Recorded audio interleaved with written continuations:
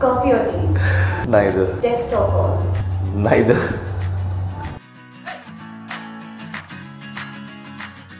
You do in the morning? Get up and I start breathing music. Early bird or night owl? I'm not an early bird, I'm a night owl. Ultimate relaxation after a busy day? Chill in my room with one nice drink. A night before a performance, what's the one thing you avoid? Drinking. What's the one genre of music that has influenced yours? Indian classical music. Favorite meal?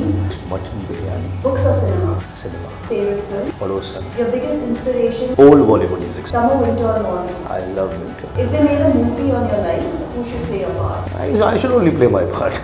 Location for your dream performance? Royal Albert Hall. Three things you can't leave the house without. My mobile phone, my house keys, and my memories. Most important pre-performance ritual. Just relax. Most important post-performance ritual. Relax more.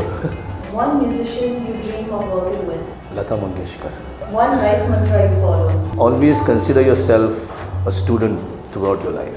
One line of advice to young musicians. Be committed and sincere to your music.